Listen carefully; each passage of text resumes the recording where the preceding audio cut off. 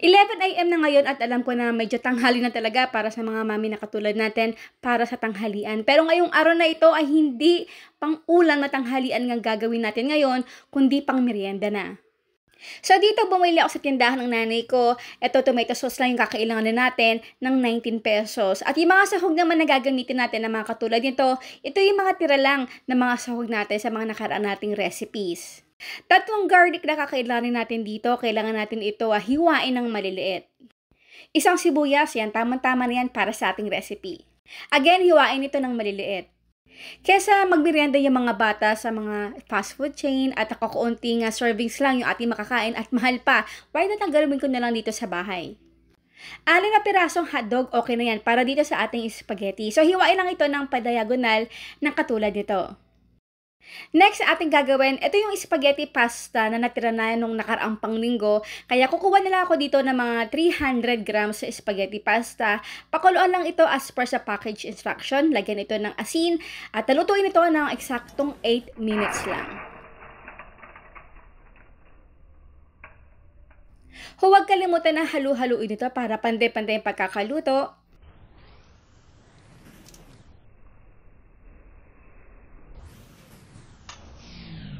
Kapag al dente na o right cook na na ating pasta at kapag ayan, na kukurot na natin, okay na yan at hanguin na natin. Salain lang ito at huwag itatapon yung pagpinagpakuluan natin ng tubig kasi may gagawin pa tayo dito mamaya.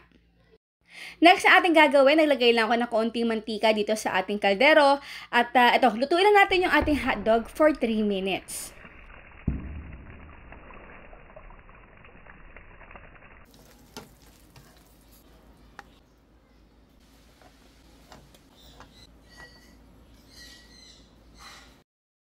Next, same pa, nalagay lang ako dito ng mga 2 tablespoon ng butter. At uh, dito ko na rin nalagay yung ating 1-4 na nabiling ground pork. Kung wala kayong ground pork, okay na naman kahit uh, corned beef or tuna, kahit anong available na meron kayo. Asin, huwag kalimutan. Then after that, nilagay ko na rin dito yung ating garlic, onion at yung ating uh, bell pepper. Again, kailangan natin ito lutuin hanggang sa mawala na talaga o nag-absorb yung tubig nito. Ilagay na natin dito yung ating 150 grams na tomato sauce at yung ating all-purpose cream na 250 ml. Dahil ang tomato sauce ang ating ginamit dito, syempre wala pa itong tamis. So, ang pampatamis na nilagay ko dito ay yung ating banana ketchup. So, again, depende ito sa tamis ng gusto niyo. Pero pwede pa kayong malagay pa ng mas marami pang tomato ketchup or banana ketchup. Tikman ito kung okay na yung panlasa ninyo. Again, kailangan tayo magdagdag na additional pang banana ketchup kung kayo ay natatabangan pa. Ayan. So, maglagay tayo dito ng mga 1 cup na pinagpakuluan natin ng pasta kanina. Ito guys, ay talaga namang pampalapot talaga. So, yung ating apoy dito ay nasa medium heat lang. Ilagay na natin yung hotdog at pakuluan ito ng mga 5 minutes pa. So, mapapansin nyo dito talagang medyo malabno pa yung ating sauce. Okay na yan, patay na natin ang apoy at i-transfer na natin ito sa niluto nating pasta. Nilagay ko lang muna dito yung kalahate at hinalo-halo. So, ito talaga guys, ginagawa ko para mag-absorb lang uh, ng bahagya yung ating pasta dito sa ating sauce. So, inayaan ko lang muna ito lamamig na mga 30 minutes. Again, tsaka ko ito ilalagay yung natira pang sauce kanina kapag medyo lumamig na.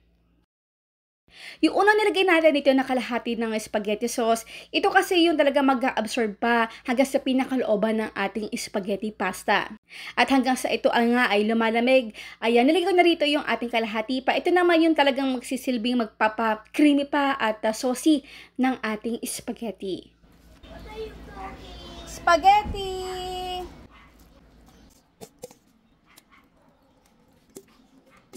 Aba, ito syempre hindi mawawala yung ating cheese. Ayan. So, kaya pala ganyan kadaliit yung ating cheese kasi baligtad ang aking uh, pagkakagamit ng ating cheese grater. And now is done, our napakasarap na merienda na napakadali na spaghetti. Aba, aba, ito syempre hindi mawawala. Ang tanong ni Mama Shirley, ilang hotdog? ang nilagay natin dito sa ating napakasarap na spaghetti. Ang inyong sagot, syempre, sa comment box section. Nako guys, ito talaga hindi ko makakalimutan dahil napakarami talaga nakain ng pamangkin ko at si Aliana.